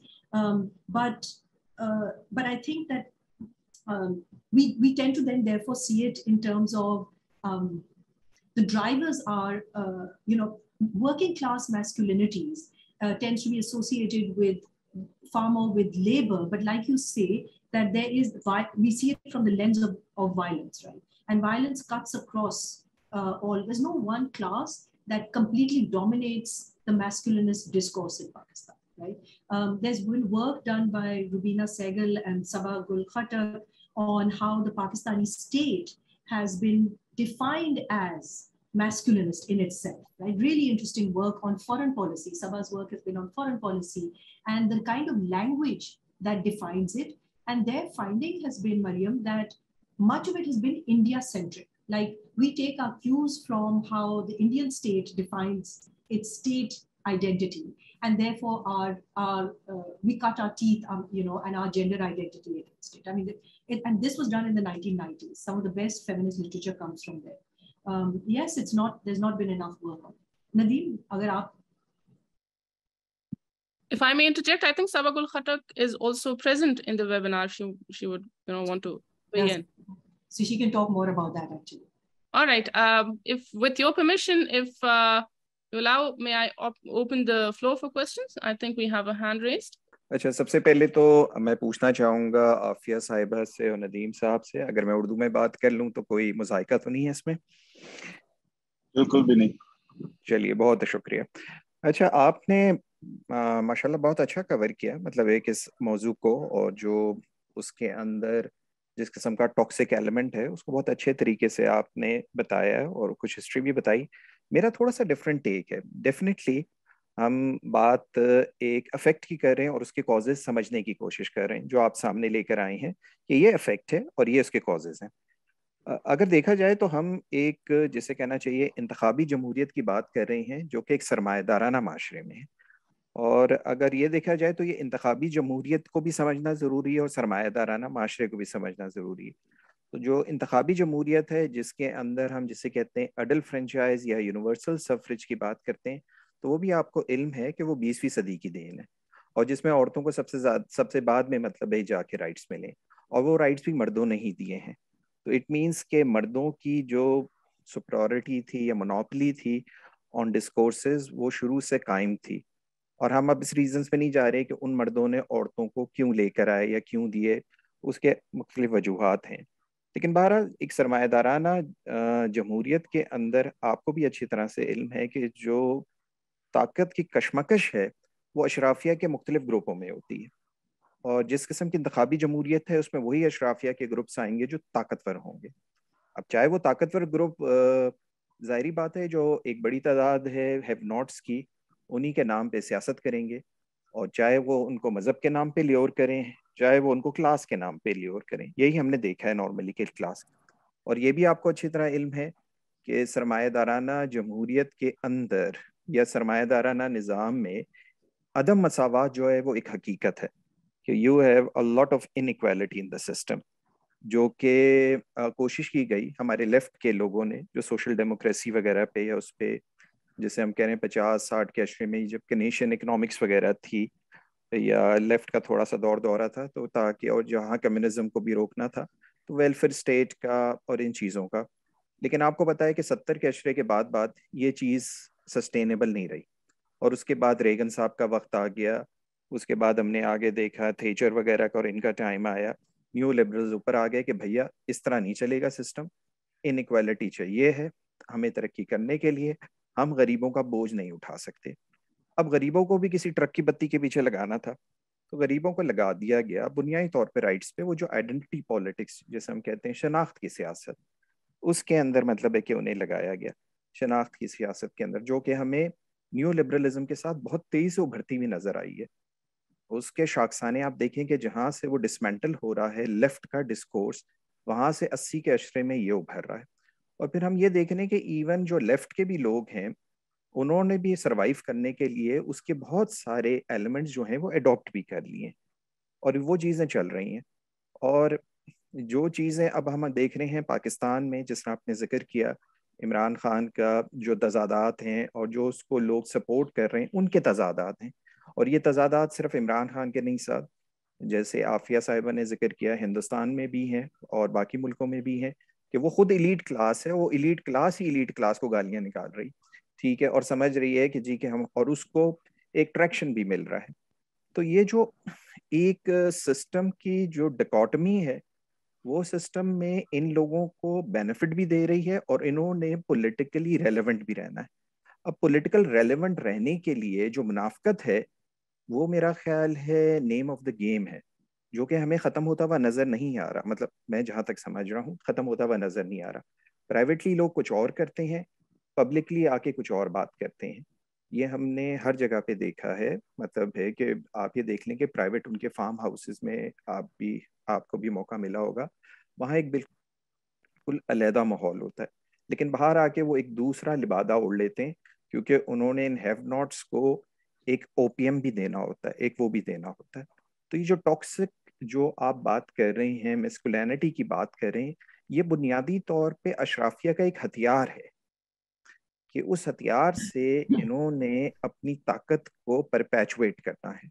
और जहाँ तक मुझे समझ में आ रही है maybe I am wrong हमें ये चीज़ ख़त्म होते हुए नज़र नहीं आ रही इस इंतबी जमहूरियत के हिसाब में और इस सरमादाराना माशरे के हिसाब से। शुक्रिया। Thank you I think you know ज़्यादातर जो चीज़ें कही हैं, उसमें कोई मुझे इख्तलाफ नहीं है उससे। सिर्फ़ ये है कि मैं, मेरा ये कहना और मेरी ये तजवीज़ ये है कि हम विंडोज़ ऑफ़ अपॉर्चुनिटीज़ ही देखते हैं ना as feminist within the masculine discourse हम देखते हैं कि कौन सी अपॉर्चुनिटी है।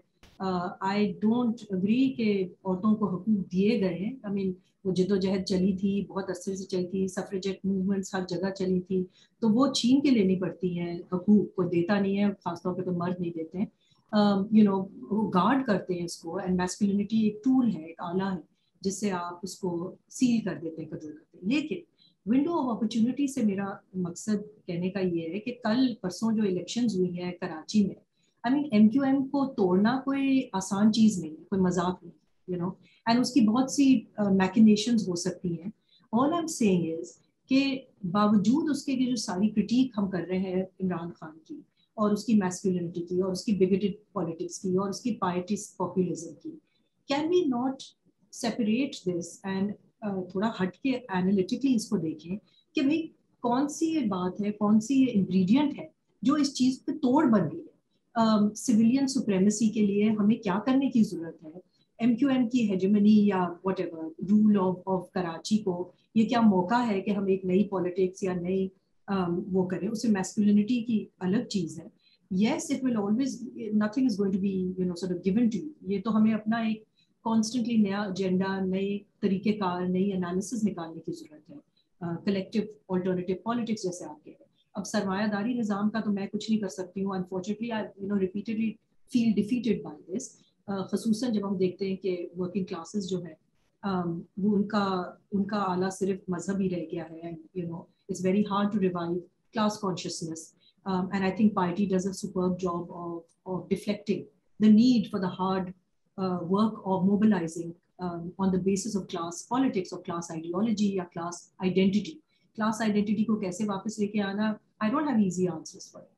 Uh, but certainly that doesn't mean that we succumb or give up or surrender to piety or masculinity or to the forge or other things. We can find other ways of, of instrumentalizing opportunity.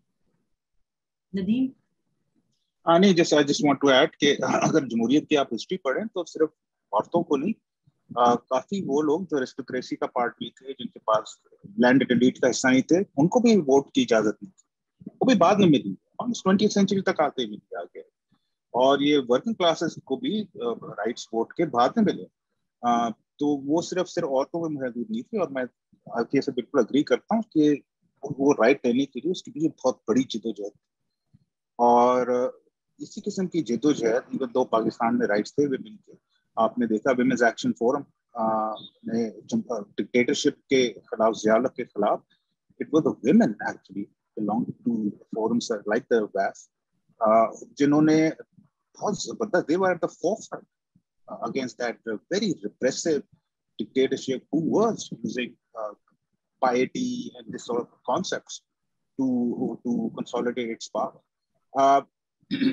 एक और दिलचस्प चीज़ है नदी ये मोदी का तो अशाफिया से कोई ताल्लुक नहीं है। आई मीन उनकी तो उनकी तो the beauty of this populism is कि वो अशाफिया से उसका ताल्लुक नहीं है। लेकिन आई एम नॉट सेइंग कि ब्राह्मण इशू नहीं है, मगर आई एम सेइंग अशाफिया का सर्टनली नहीं। एंड इवन इन इंडिया उधर की वुमेन एक्टिविस्ट हैं वुमेन जर्नलिस्ट हैं फ़िल्म मेकर्स हैं, औरतें हैं, शाहीन बाग में जो जमा हुई थी, जो कि एक सिविल और एक सेक्युलर स्टेट के लिए जदोजहद उधर भी कर रही उनकी रेजिस्टेंस उधर से आ रही है, चाहे वो कश्मीर में हो या you know other parts of India में हो।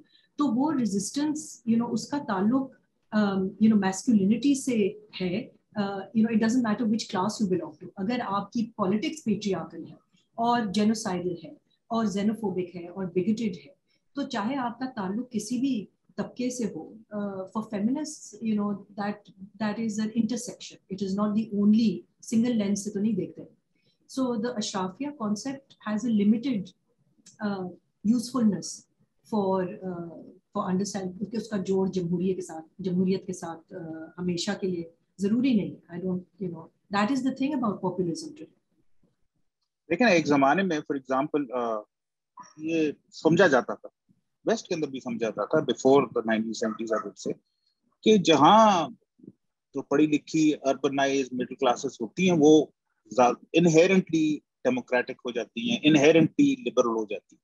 But we seen this whole idea has turn into और एशिया में स्पेशली जब मिडिल क्लास का राइज हुआ, हमने देखा this is not the case तभी मैं वो सवाल भी तो आपकी से पहले पूछ रहा था ना कि इसका क्या क्या है कि इमरान खान जैसे ऐसा शख्स जो यू नो मैस्कुलिन पार्टी वाली पॉलिटिक्स करता है उसको भी बड़ी, यही मिडिल क्लास पढ़ी लिखी लाइफस्टाइल लिबरल्स फॉलो करते हैं सो I don't think it's got to do with class as such it is it is like Afia said, as a society patriarchal है तो ये चीज तो अक्रॉस द क्लास मिलेगी आपको एंड uh, इसमें जमहूरियत बेचारी को वैसे कुछ uh, वो है नहीं suit we are what what is usually called still a illiberal democracy uh, which has risen in various uh, countries especially in developing countries.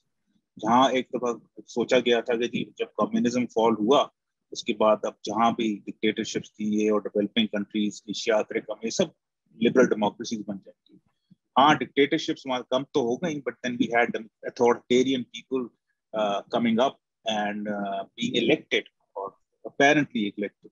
So they all turned into illiberal democracies. And there were all over the now we see these populists coming up, first century populists. चाहे वो India भी हो जो एक जमाने में कह सकते थे somehow liberal democracy, but it's taken an illiberal turn there as well. So pretty complex reasons हैं. Hmm.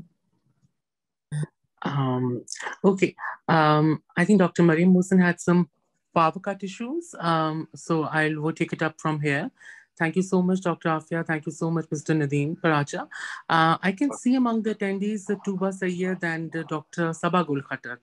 Um, Tuba, do you want to comment or do you want to share anything? And also to Dr. Saba Gul Khattak, please. Thank you very much. Um, to Dr. Afia and Nadeem Paracha. Um, this has definitely been, you know, very enlightening, enlightening for me.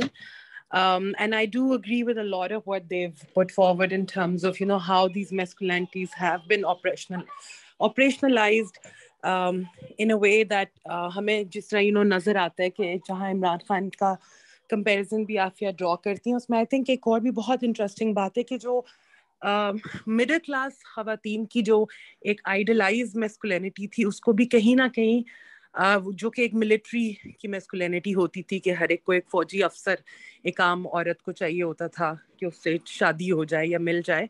I think Imran Khan ने कहीं ना कहीं उसको भी आके replace किया।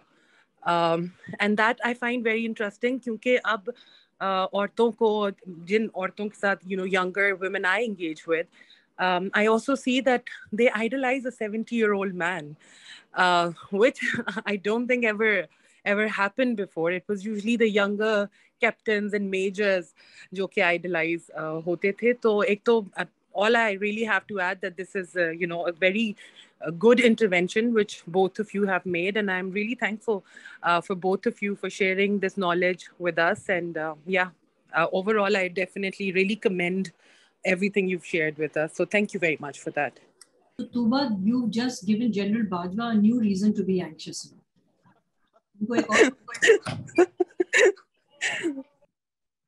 अब वो सारे तीस पैंतीस साल के मेजर्स को आगे करेंगे but anyway yes I think you no या for me it is fascinating of course it is not you know, I don't think we can draw away the sexuality part or the sexual appeal of Imran Khan from this. And why should we shy away from it, you know? But it is fascinating that uh, on one level, the same liberals I mean मैं सिर्फ़ middle class की बात नहीं कर रही हूँ। मुझे ज़्यादा इंटरेस्ट और, और मसला ऊपरले तबके से या शाफिया से है। uh, उनकी जो एडुलेशन है वो जवान है थर्टीज में है and they admire him and find him you know attractive still. And they will be the same ones जो कि कल अगर चाइल्ड मैरिज कहीं हो जाती है या रिलेशनशिप्स में बहुत गैप होती है सालों की उस पर तो बहुत तनकीद करेंगे right but they can have so you know what my only appeal to all of us is to understand that desire doesn't know age and you know appeal and sexuality is a very fluid very fluid commodity it you can't stick it on one and say कि बस ऐसे ही होना चाहिए कोई कानून से ठीक नहीं हो जाती है या you know critique से uh, इत, इतना आसान नहीं है लोगों का you know नजरिया बदलना um, and and especially when it's emotional and it's emotive um, so I think, you know, not just Imran Khan, but look at Amir Liaquat and all of these, you know, men who um, strut a certain kind of confidence um, and, and, and command public space and services and sexualize themselves. They have no problem as men कि अपनी sexuality को foreground करें. As women हम छुपाती हैं, हम ढकती हैं, पोशीदा रहती हैं. As अब सारी politicians को देखें, women politicians, वो सारा वक्त अपने आप को ढक रही होती हैं या apologizing for their physicality. And these men strut it, they perform it, they own it, um, and they showcase it and instrumentalize it apne mafad ke. Um, so there's completely different standards. Uh, and that is the masculine discourse that puts women at a disadvantage. Hum ye ke, na sirf tabkati disadvantage hai, but uh, ye to straightforward is a political disadvantage to women. You know, I'm not saying women should do that, feminists should do that, but I'm just saying that everything is an unequal playing field. A level playing field Now, piety na uh, performativity, na sexuality, na masculinity and femininity. So Fahad, are, if there are no more questions or comments, so we can wrap up. Yeah, yeah, we can. Uh, we can wrap up. Um, any final thoughts? Any final um, points to share, or any um, thing to build on the same paper as far as future research introspection is concerned? Um, do you have any plans to take it up uh, a notch higher, maybe, or some unexplored uh, research questions that you still want to uh, dig deep into uh, along the same topic yeah um, i mean um, i'm you know this is the, i have limits of my uh, understanding and, and knowledge i'm not a historian i think historian historically जो मैंने देखी है बहुत दिलचस्प चीजें निकली हैं um, of muslim masculinities Mughal period में फिर 1920s में Hindu and Muslim rival masculinities बहुत दिलचस्प चीज़ें और बहुत सा काम भी हुआ मैं इसके ऊपर। पोस्ट कॉलोनियल पाकिस्तान में I think there is a lot of scope for research ये जो है जिम्नेजियम्स में किस किस्म की मैस्कुलिनिटी फ़िज़िकल मैस्कुलिनिटी फौज के अंदर थोड़ा सा काम हुआ हुआ है कि उनकी मैस्कुलिनिटी कैसे बिल्ड की जाती है वगैरह।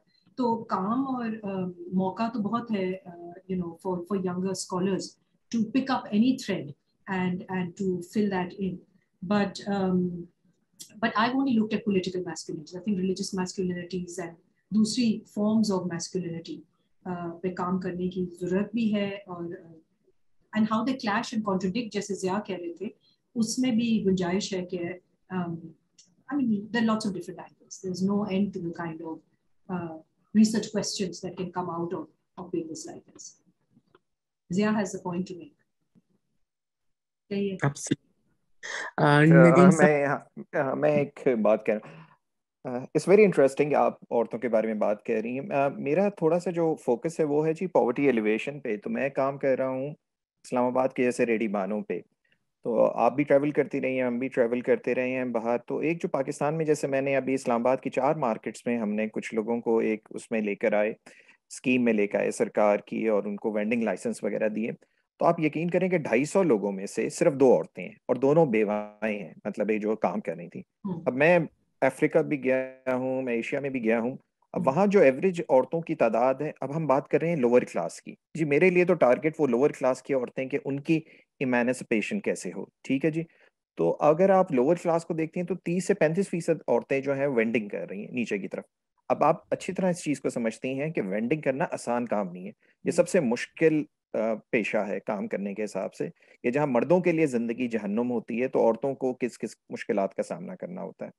तो what I am looking at कि हम पाकिस्तान के अगर पैराई में बात करते हैं कि जहाँ मतलब टॉक्सिक मिक्सकुलिनिटी बहुत ज़्यादा है, औरतों पे बहुत ज़्यादा दबाव है, चीज़ें हैं तो इसमें जो औरतों की जैसे वुमेन एक्शन फोरम की बात की गई, मुख्तलिफ़ और मतलब मैं उनके काम से और उनकी चीज़ों को मतलब है, उनका मोतरफ हूँ। मतलब मैं कतई ये नहीं समझता कि उन्होंने बहुत अच्छा काम किया किया। लेकिन जो हमारा लोअर क्लास है औरतों का, जिनको मेरे ख्याल सबसे ज़्यादा ज़रूरत है, जैसे भी आप खुद बात करें कि इमरान खान की मस्कुलिनिटी है तो ये अपर क्लास की और अपर मिडिल क्लास की औरतें उसकी दीवानी हैं या उसको सपोर्ट करें दैट्स पार्ट लेकिन दुनिया, पाकिस्तान की एक बहुत बड़ी तादाद औरतों की ऐसी हैं, जो बेचारे बहुत ही मतलब है, मुश्किल हालात में वक्त गुजार रहे हैं, बहुत ही तकलीफ़ दे हालात में वक्त गुजार रहे हैं। जैसे हमने हिंदुस्तान में मैं एक स्टडी कर रहा था मतलब सेवा के नाम से सेल्फ एम्प्लॉयड वुमेन एसोसिएशन है जिसकी लाखों औरतें मेंबर्स हैं। उन्होंने अमेजिंग काम किया हिंदुस्तान में लोअर औरतों को जो कि घरों में काम कर रही हैं और ये चीज़ें कर रही हैं कि उनको किस तरह ऊपर की तरफ़ लाया जाए। मुझे जो चीज़ हाँ। हाँ मुझे जो चीज़ समझ में आ रही है कि ये लैक कर रहा है हमारे मुल्क के अंदर। वो तो कि हम उन औरतों को कैसे ऊपर लेकर आए? बिल्कुल सही बात है आपकी और ये हमारी पुरानी शिकायत रही है और बहस रही है इसके ऊपर। लेकिन मकसद रिसर्च का ये है और यही हमने इस बात में तय किया है कि जब एक नैरो और जब गुंजाइश ही नहीं कि आप पब्लिक स्पेसेस आपने खोली नहीं है औरतों के लिए आप बंद कर देते हैं जो एम्प्रेस मार्केट के बाहर खातन वेंडर्स बैठती थी उधर और आपने एक, वो यू नो उसको पूरा वर्ल्ड बैंक ने उसको हटा दिया in the name of cleaning of Karachi या डेवलपमेंट ऑफ़ कराची ये तो हम जानते हैं। मगर कहने का मकसद ये है कि अगर हम समझ सकते हैं कि जी मैस्कुलिनिटी का एजेंडा क्या है या उनके मकासद क्या है तो फिर हमें समझ तो आनी चाहिए ना कि भाई ये हो क्यों रहा है? मतलब ये किस वजह से औरतें नहीं निकल रही ये भी तो समझने की ज़रूरत है। पॉलिसीज़ बनाना मोबिलाइज करना एक्शन लेना एक चीज़ है। लेकिन उसके पीछे बुनियादी अगर आ, समझ नहीं है हमें कि ये हो क्यों रहा है कब से हुआ है कैसे इसको स्ट्रेटेजाइज करें to come over it if we keep romancing with party कि पार्टी एक मोबिलाइजिंग तरीका है जी कोई बात नहीं अगर मज़हब को इस्तेमाल कर ले। तो ज़ाहिर है वो कॉन्ट्रोडिक्ट होकर बैकलैश तो आएगा उसका आपकी एजेंडा के ऊपर मेरे एजेंडा के ऊपर। तो ये बहुत लाजमी है कि क्रिटिकल एनालिसिस या रिसर्च करें डिसएग्रीमेंट है, उसकी सफ़ाई करें, उसको सीम आउट करें आयन आउट करें, ताकि स्ट्रेटेजिकली वुमेन्स मूवमेंट अब 90s की जो ये सारे एन हैं, जिनकी हम सब तनकीद करते हैं, इन्होंने तो बहुत मोबिलाइज किया खवतिन को। वोटिंग में भी पब्लिक स्पेसिस में भी इनकम जनरेशन इसको कहलाते थे। उन्होंने तो अपना काम किया है पूरा। अब ये है कि labour force participation is not increasing macro economic issues at hand and बहुत से पेपर्स लिखे जा रहे हैं। On why and so mind is just one understanding या वन एंगल एक टाइम पीरियड के अंदर मैंने सोचने की कोशिश की है कि भाई जब सब कुछ hegemonically masculine not about toxic it's hegemonic और वो गुंजाइश ही नहीं बन रही, जगह नहीं बन रही है, ना सियासी रिप्रेजेंटेशन की, ना इकोनॉमिक रिप्रेजेंटेशन की। तो कौन ही इकोनॉमिक पॉलिसीज़ बनाएगा जिसको बड़ी हमदर्दी है खातन के साथ? इमरान खान को मैं कह रही हूँ बार बार दिलचस्पी नहीं है कि खातन आके पब्लिक सर्विसेज़ में अपना काम करें राइट वो तो चैरिटी में और उसमें चाहते तो ज़ाहिर है ये नजरियाती पार्टी जिस और जो पोलिटिकल पार्टीज़ जो पावर में है और जो पॉलिसीज़ बना रहे हैं, उनके ऊपर तो दबाव डालना है उनको कहना है कि जी क्लास पॉलिटिक्स पॉलिसीज़ वगैरह बदले। So it is important to understand where this is coming from उसको डिबंक करें क्रिटिक करें ओपन अप करें और उसका मुतबादल जो है वो हम सजेस्ट करें not just in one sector but overall labour laws labour force participation उसमें दिक्कतें क्या है? And trust me even in Bangladesh जो ये रिसर्च की गई है unfortunately purdah is a major impediment to women's participation in work. There's lots of complex details for it. But I'm just saying, starting point तो होने देना आप लोग अगर ये इधर ही बंद कर देंगे कि जी मतलब इस सतह पे नहीं जाए मीशत कुछ और चीज़ है मीशत कुछ और चीज़ नहीं है इंटरसेक्शनलिटी यही कहते हैं जहाँ सब चीज़ें जुड़ी हुई है और उनकी रुकावटें जो है ऑब्स्टिकल्स जो है वो ज्वाइन करती है एक जगह पे तो वो नेक्सस वो mode uh, and the node of oppression, we have to we have to expose that and challenge that. Thank you, Dr. Afiya. Thank you so much.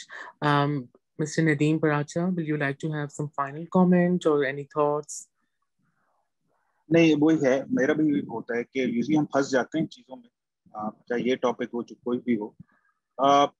we have to focus on the source of the problem ठीक है, सही तरह study करना चाहिए, उस पर एक consensus ले लें, ये है सोर्स ऑफ़ द प्रॉब्लम जब उस पर हम बात करते हैं तो एक हमारे अंदर इनहेरेंट चीज़ आ गई है कि अगर हम बोले, ये सोर्स ऑफ़ द प्रॉब्लम है, ये इसका एविडेंस है तो दस लोग खड़े हो जाएँगे what about this then what about that what about this not realising everything is interlinked ठीक है? और जहाँ हम वेमेन एम्पावरमेंट की बात करें, या हेजेमोनिक मैस्कुलिनिटी की बात करें तो डेफिनेटली जो अभी आज आफी ने अपने पेपर पे लिखा है उससे पहले किताब भी है इनकी faith and feminism in Pakistan उसमें बहुत सारे इंडिकेटर्स हैं how we can find this source और उस पर और भी बहुत काम हुआ।